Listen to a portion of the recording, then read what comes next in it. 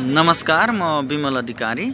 यति बेला म मुस्ताङमा रहेको छु मुस्ताङको लेटेमा हामी चार दिने भ्रमण सकेर फर्किँदैछौँ।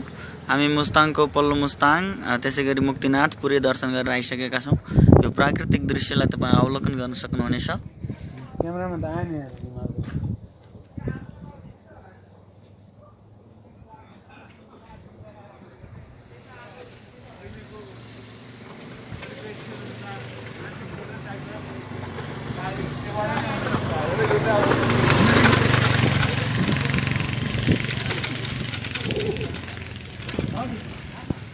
एकपटक अवलोकन गर्नै पर्ने ठाउँ मुस्ताङ। मुस्ताङको हरेक ठाउँहरूमा उत्तिकै रमणीय छ जमसम उत्तिकै चर्चित ठाउँ छ। त्यसै गरी लेते उत्तिकै जम उत्तिकै चर्चित ठाउँ छ। हामी चर्चित ठाउँहरू एकपटक घुमेर पर्यावरणलाई अझै यो पर्यटन पर्यटक व्यवसायलाई अझै थप माथि पुर्याउन सक्नुहुनेछ। यी दृश्यहरू हेर्नुहोस् अत्यन्तै मनमोहक छन्। यी दृश्यहरूले पक्कै पनि हर कोही व्यक्तिको मनलाई लोभाउँछ।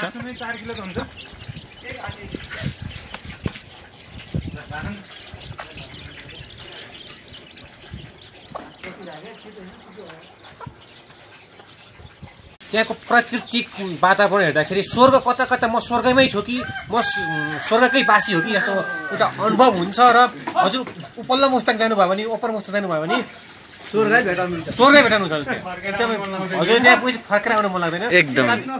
हेर्नु मान्छेहरू हजारौँ मान्छे बाइकमा यहाँ गुत्त गुत्त हिँडेको हिँडेकै छन्। पक्कै नै त्यहाँ केही न केही चिज छ। यो भिडियो हेरिसकेपछि अवश्य नै हजुरले आउन मन लाग्छ भन्ने म ग्यारेन्टी दिन्छु। धन्यवाद। उहाँ हुनुहुन्थ्यो एउटा यात्री नेपाली यात्री। हामीसँगै लामो पाँच दिने भ्रमणमा आउनु भएको। त्यस गरी अर्का पनि हुनुहुन्छ हामीसँग नेपाली यात्री। उहाँलाई पनि कस्तो अनुभव रह्यो तपाईँको मुस्ताङको यात्रा?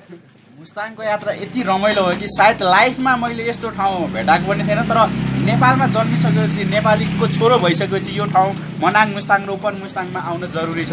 किनभने त्यहाँ उपर मुस्ताङमा गइसके सायद स्वर्ग र नर्ग भनिन्छ नि स्वर्गमा पुगेको अनुभूति जुन हामीले फिल चाहिँ एउटा मात्र गरिन्छ त्यो चाहिँ रियालिटीमा रहेछ भन्ने कुरा चाहिँ मैले आज बुझेँ। हस्त मेरो दुई चार शब्द यही टुङ्गिन्छ हस्त धन्यवाद।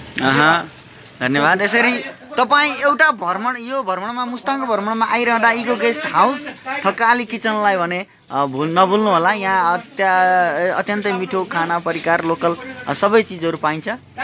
भन्दै म पनि यो भिडियोबाट बिदा हुन्छु। नमस्कार।